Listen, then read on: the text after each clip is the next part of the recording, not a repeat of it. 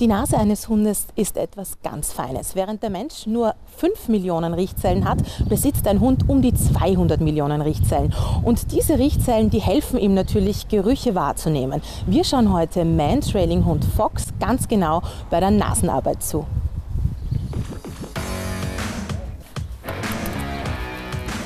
Ja, servus Armin. Das ist also der Fox. Das ist der Fox. Das ist der Fox, unser heutiges Objekt der Begierde. Genau. Der ist ein Man-Trailing-Hund. Ein Man-Trailing-Hund, aber auch im ganzen anderen Rettungssystem auch ausgebildet. Okay, was bedeutet das jetzt Man-Trailing-Hund?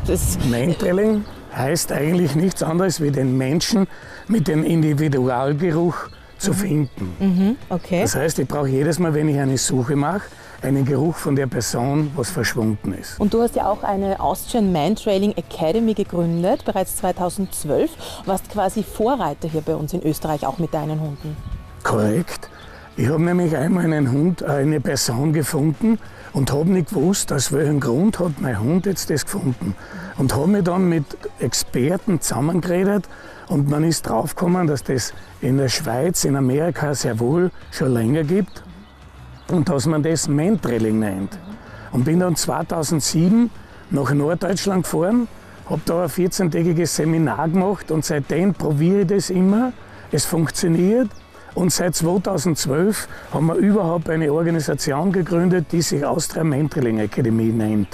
Viele kennen jetzt vielleicht Fährtenhunde. Was ist der Unterschied zwischen einem Fährtenhund und einem Man-Trailing-Hund? Ja, der Fährtenhund geht immer nach Bodenverletzung. Und diese Hunde, was Man-Trailing machen, die gehen nach dem Individualgeruch. Das heißt, der Geruch von der verlusten Person bleibt auf dem Asphalt hängen, bleibt auf der Hausmauer hängen, auf Gebüsche. Es kann aber auch sein, dass der Wind so 50 bis 100 Meter den Geruch vertreibt und da darf ich mit einem Trailhund den Geruch nachgehen. Ein Fährtenhund muss immer die Spurverletzung, was die Person gemacht hat, genau dort korrekt nachgehen. Und das braucht er nicht. Er sucht sich seinen Geruch, was er braucht. Und wie er sich den Geruch sucht, ich glaube, das schauen wir uns jetzt an. Du genau. hast uns was vorbereitet, dass wir auch dem Fox bei der Arbeit zuschauen können. Genau, wir haben eine Person ausgelegt. Ich muss jetzt zu diesem PKW gehen. Dann wird der Hund adjustiert, wird angezogen, dann kriegt er einen Geruch und dann verfolgen wir die Spur, wo ich nicht genau weiß, wo die Person hingegangen ist. Okay. Bitte. Ich würde sagen, gehen wir es an. Da muss sich der Hund jetzt einriechen. Super. Der kleine Geruch, was er da jetzt genommen hat, der Schnuppervoll, der reicht. Und dann sage ich Trell.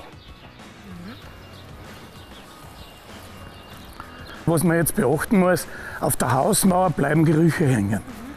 Jetzt ist natürlich das Schwierige, es kommt eine Kreuzung. Bei der Kreuzung muss sich der Hund einriechen, wo kann die Person hin sein. Er darf links, er darf rechts. Ich glaube, genau der Hauptplatz ist ja eine große Herausforderung. Das ist einer der größten Herausforderungen.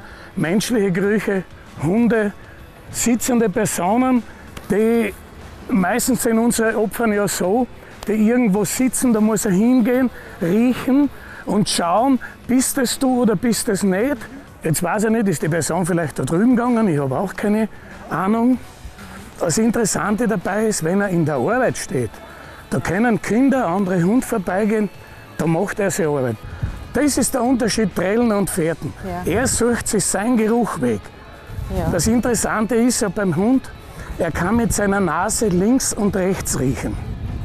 Das hat den Vorteil, wenn man links oder rechts riecht, dass er sich immer den frischesten Geruch holt. Der Hund muss sich jetzt einriechen. Da muss ich ihn allein arbeiten lassen. Er kann sich immer wieder zu einem, zu einem festen Teil hinbegeben. Irgendwo hat er jetzt was gekriegt. Okay. Jetzt geht er an.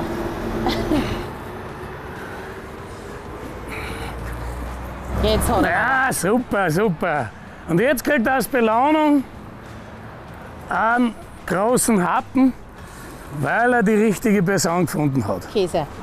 Käse, Wurst, da ist ein bisschen ein Gemix drinnen.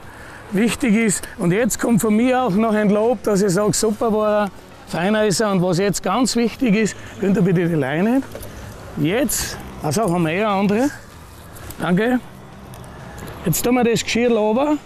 Da muss der Hund wissen, dass die Arbeit vorbei ist und jetzt wird er ganz normal zum Auto zurückgeführt. Okay.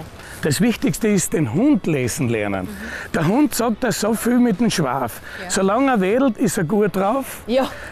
äh, was, wenn er dann sich schüttelt oder gähnt, dann sagt er mir, Herr, warte ein bisschen, momentan weiß ich jetzt nicht, wo ich hin muss. Okay. Dann muss ich die Ruhe bewahren und sagen, okay, lieber Hund, riech, schau, schnupper. Man muss ja eins wissen, ein Hund hat ja ganz ein anderes Riechvermögen wie wir Menschen und vor allem hat er einen Riechtippel, dass er viel mehr konzentrieren kann, was ist jetzt da alles gewesen. Mit dem Fox arbeitest du ja schon sehr lange. Wie lange wird es jetzt bei mir dauern, bis mein Hund und ich Mantrailing beherrschen würden? Ja, das ist bei mir so. Ich gebe Seminare, die freitags beginnen, am Sonntag enden. Wir nennen das die ersten Schritte. Und da lernt man mal wirklich die Grundbegriffe, den Hund lesen zu lernen. Das Interessante ist ja, der Hund hat das eigentlich, wenn ich Freitagnachmittag anfange, am Samstagvormittag kapiert, was wir wollen. Nur der liebe Hundeführer kann den Hund nicht lesen. Wenn der Hund jetzt irgendwo stehen bleibt, wird der Hundeführer nervös und macht den Hund einen Druck und sagt weiter, weiter, weiter. Das bringt nichts. Ihr habt eure Akademie, wie gesagt, im Jahr 2012 gegründet. Woher kommt Mantrailing eigentlich? Ja, Mantrailing ist eine ganz interessante Sache. Die kommt da aus Altafrika und das immer dort, wo es Sklaven gegeben hat, haben die reichen großen Herren eine Hundemeute gehabt, die man in den Sklavennest hingetrieben hat, weil die Sklaven haben ja bekanntlich alle nur in einem Massenquartier gewohnt. Und wenn einer glaubt hat, jetzt rennt er davon, hat man die Hunde in das Quartier geschickt. Die haben die Leute sortiert, einer fällt und sind dann in Masse den Hunden nach. Und meistens hat der, was davon gerannt ist, das nicht überlebt, weil die Masse der Hunde ihn zerfressen hat. Wir machen das natürlich nicht so auf diese harte Art, sondern bei uns ist es so, wie man jetzt vielleicht im Bild gesehen hat, da sitzt das Opfer, das ist Leerenphase. Da ist, sitzt das Opfer und hat ihm zum Schluss ein Becherl mit Futter, damit er sich freut. Ich habe sehr viele Einsätze gehabt im Ernstfall. Da habe ich natürlich immer irgendwas mit. Der Hund zeigt mir die Person. Ich bin mir sicher, das ist sie jetzt. Und dann mache ich mit dem Hund ein zwei, drei Sekunden Spiel, lege ihn ab und dann schaue ich, wie es der Person geht. Also wie man sieht, der Hund ist für Nasenarbeit definitiv gemacht. Wenn Sie auch Lust haben, mit Ihrem Hund Mantrailing zu betreiben, bei Armin Erdler und der Austrian Mantrailing Academy sind Sie auf alle Fälle gut aufgehoben.